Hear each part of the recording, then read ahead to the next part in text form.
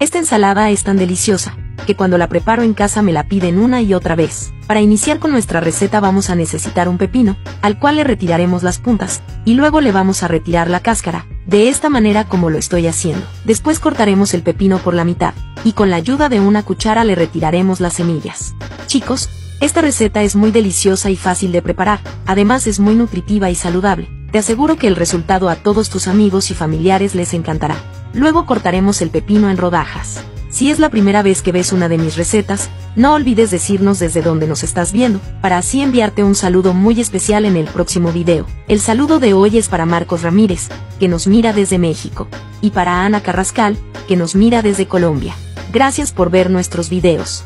El próximo ingrediente que usaremos es un tomate, este lo cortaremos por la mitad y luego en cubitos pequeños, pero si no te gusta el tomate lo puedes omitir, o cambiarlo por otra fruta si así deseas.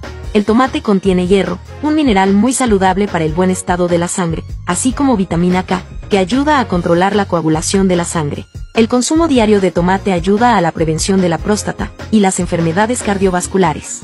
El próximo ingrediente que usaremos es una cebolla blanca. Esta la cortaremos en rodajas, y luego separaremos las rodajas de esta manera como lo estoy haciendo. La cebolla reduce los niveles de azúcar en la sangre, previene los ataques del corazón, controla las picaduras de insectos, fortalece el sistema inmune y reduce los síntomas de inflamación.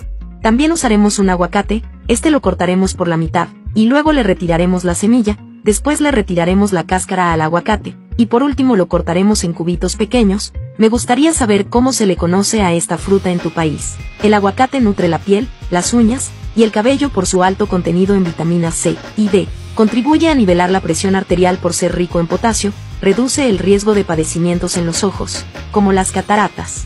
Ahora vamos a utilizar un manojo de cilantro, y lo picaremos finamente, pero si no te gusta el cilantro lo puedes sustituir por perejil.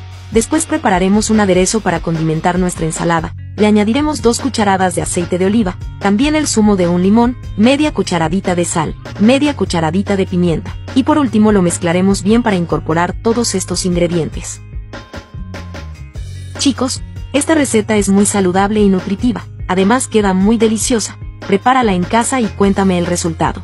Ahora agregaremos el pepino cortado en rodajas en un bol, también el tomate cortado en cubitos, la cebolla cortada en rodajas, le agregaremos maíz al gusto, el cilantro cortado finamente, el aguacate cortado en cubitos, le agregaremos atún al gusto, y por último el aderezo que acabamos de preparar, y mezclaremos bien todos estos ingredientes. Si has llegado hasta aquí mirando nuestra receta, eso quiere decir que te está gustando mucho. Así que déjame debajo el mensaje me encanta la ensalada, para así enviarte un saludo muy especial. Llegado a este punto nuestra receta ya estaría lista, solo nos queda servirla y disfrutarla con nuestros amigos y familiares.